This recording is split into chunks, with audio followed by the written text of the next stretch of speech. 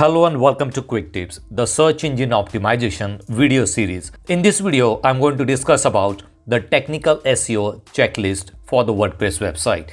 So I'm going to use a WordPress website in this video and we will discuss about how to check the technical errors on your website, how to use the free tools or free plugins to fix these technical errors on your WordPress website. In one of the previous videos, I have discussed about the on-page SEO checklist on the WordPress website. This is the video. If you want to watch this video, I'll give you the link in the description box. So let's start with the first point in the technical SEO checklist. The first point is make sure that your website has a sitemap. This sitemap will tell the search engine crawlers about the structure of your website, how many pages are there, how many posts are there. So you're going to create a list of pages and posts on your website and you're going to use that as a sitemap of your website. Now you don't need to do it manually. Definitely there are free plugins that you can use to create the sitemap.xml file of your website. And whenever you publish a new blog post or whenever you add a new page, it is going to update the sitemap automatically. So you don't need to do it manually. So the plugin that I use to create sitemap is the Yoast SEO free plugin. Here I have installed the Yoast SEO plugin. You can also use other SEO plugins such as a Rank Math SEO plugin and these plugins will create the sitemap automatically. For example, if I go to Yoast SEO settings, here if I go to Yoast SEO settings, if I scroll down, you will see XML sitemap is already included. If I open it, this is the sitemap for this particular blog. You will see that we have post, pages, attachment, category sitemap and author sitemap. So this sitemap is created automatically using this plugin. If I go to post sitemap, it will show all the posts which are available on this website. So it is going to help the search engine crawlers to find all the pages and posts on your website. So once you get this sitemap, you can add this sitemap in the Google Search Console. Google Search Console is one of the best free tool that you can use to improve the performance of your website. You just need to register your website on Google Search Console and it will give you all the data about your website. It will show you the performance of your website on Google search. Once you get the sitemap, you can add that sitemap to your Google search console. Here, I can show you that this sitemap is already added. You will see it sitemap underscore index.xml. This is the same sitemap. So I have already added this sitemap on the Google Search Console and Google Crawler has already gone through this sitemap and these pages are discovered and indexed in the Google search engine.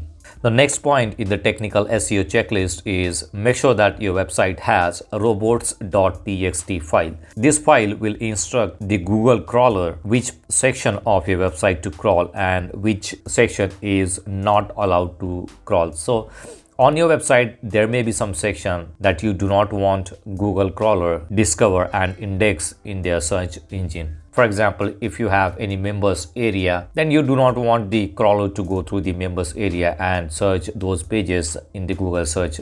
So you can disallow that section on your website for the crawlers. Now there are some free websites from where you can create robots.txt file and you can add that on your website if you go to google.com you can search for robots.txt generator. Let's go to this website. This is going to create robots.txt file.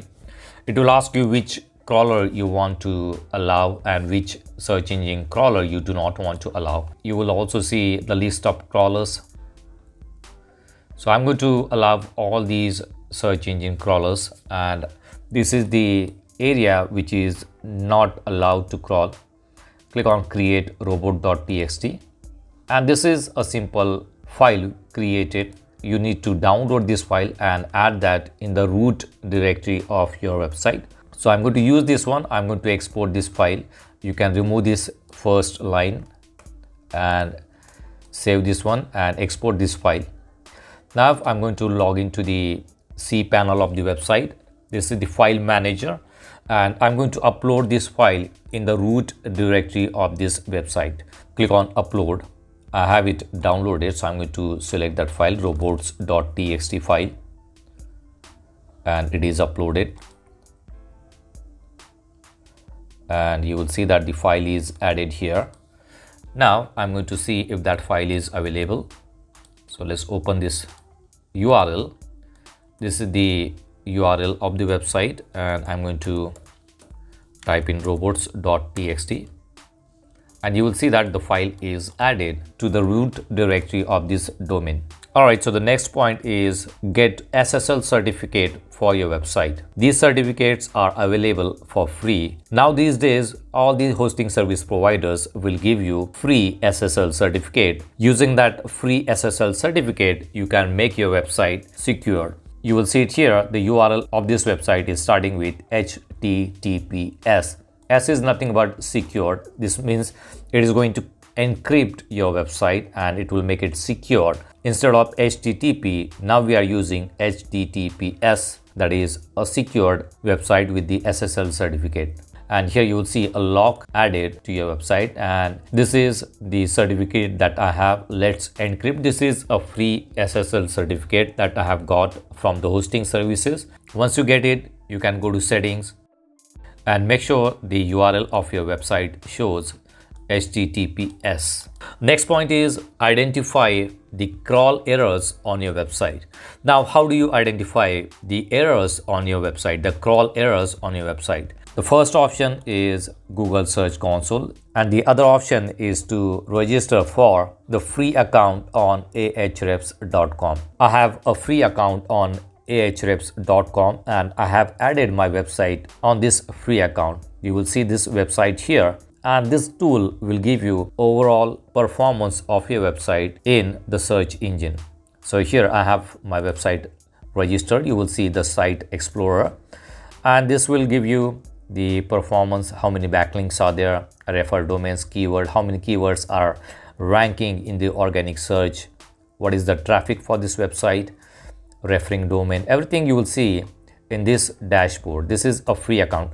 If i go to site audit here it will give me the information about the health score of this website. You will see health score is 73% and here you will see how many URLs are crawled, internal URLs having errors. So this is the area where you will find all the crawl errors on your website. So if I go here, you will see these are the errors internal URLs, uncrawled links, anchor text. You will see all the information here if I go here errors go to errors and these are the errors on this particular website.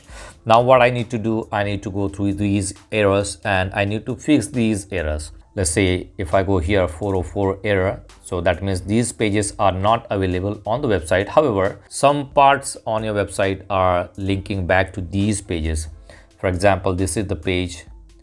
If I open it it shows this is the page which is not available but there is a link to this page you will see that this page is not available. However this blog post has a link which is going to this page. So i need to find out the link which is on this blog post. If i open this one just let me open it. And on this page here you will see a link going back to this page which is not available on this website. So i need to remove this link. And once i remove this link this error will go away the same article is listed on these blog posts. So recently i deleted some pages on this website. That's why it is giving me these 404 errors. I can go through all these blog posts and i can remove link which is going back to this page and this error will be fixed. Let's go back. Let's say https page has internal links to http so what it says you have https a secured page which is linking back to http page. So i used to use the http link instead of https you will see it here. Internal outbound link which has http instead of https so I can go through these pages and I can fix it. Instead of HTTP, I can use HTTPS and it will fix that error. So this is how you can go through all these errors and try to fix the error. The next is page with broken link. Now what does it say? This page has a broken link which is going to this page. so i can again go to the page and i can fix that error so this is the best tool if you want to find out the crawl errors on your website. It is going to take some time. You need to register your website on ahrefs.com. After some time, it will go through your website and it will find out the crawl errors on your website. The next point in the technical SEO checklist is fix the broken link. It is nothing but what we just saw 404 page the links going to the broken pages. So you can use the ahrefs.com and you can fix the broken link issues on your website. The next point is the page speed of your website. You, you need to monitor the page speed of your website. If your website is loading slow then it is going to affect performance of your website. It will increase the bounce rate on your website. So make sure that your website is loading fast. There is a google free tool which you can use to monitor the page speed go to google.com and search for google page speed insights. This is the link. Let's copy the link of the blog post and enter it here and analyze. This will give you an idea about the page speed of this particular url here you will see the performance of this url on the mobile device is 85 which is not bad. This is a good performance on mobile device if I go to desktop, you will see the performance is 99. So this is one of the best performance I consider. Try to get the score above 80. It is not always possible to get a score of 95 plus for all the pages on your website. Now how you can do it? You can use cache plugins on your website which is going to improve the page speed of your website. You can also try to use plugins which will compress the image size. It is going to increase the page speed if you are using images with low file size. So on this website, I'm using the Smush plugin, which is reducing the image file size on this website. And the other plugin is WP Rocket. It is a cache plugin. There are many free cache plugins that you can use. For example, if I go to add new plugin, search for a cache plugin and you will see a list of free cache plugins that you can use. Here you will see LiteSpeed Cache. It is installed on more than 5 million WordPress website. W3 Total Cache, which is also installed on 1 million website. WP Super Cache, also installed on 1 million website. So you can use any one of these cache plugins and it is going to help you increase the page speed on your website. These are available for free there are some pro plugins that you can also use. In the upcoming videos, I'm going to install the cache plugins and I'll show you how to use these cache plugins on a WordPress website. The next point in the technical SEO checklist is add a structured data or the schema markup on your WordPress website. This schema markup will inform the search engine about the page and its content. Again, you don't need to do it manually. If you're using SEO plugin, you will get an option to add the schema markup here I'm using Yoast SEO plugin. And if I go to any one of these posts let's try this one. Go to edit. Now if I scroll down you will see the Yoast SEO settings. In one of the previous videos I have shown you how to install and use the Yoast SEO free and premium plugin. If you want to watch that video I'll give you the link in the description box. Here you will see the option schema so if you go to schema, it will create a schema markup automatically. For the page type, it has already selected this one as a web page. So default for the post is web page and article type is article. So if you are running news article, you can select news article. If you are using tech article, you can select tech article. So it will inform the search engine crawler about this particular page and its content using the schema markup. The next point in the technical SEO checklist is make sure that your website is mobile friendly.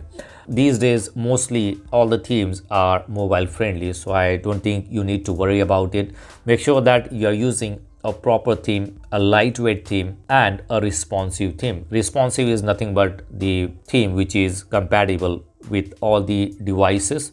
Here I'm using Astra theme and it is compatible with mobile devices if I go to preview here, select mobile and this is how it will look on the mobile devices. So this theme is mobile responsive. It works properly on mobile devices.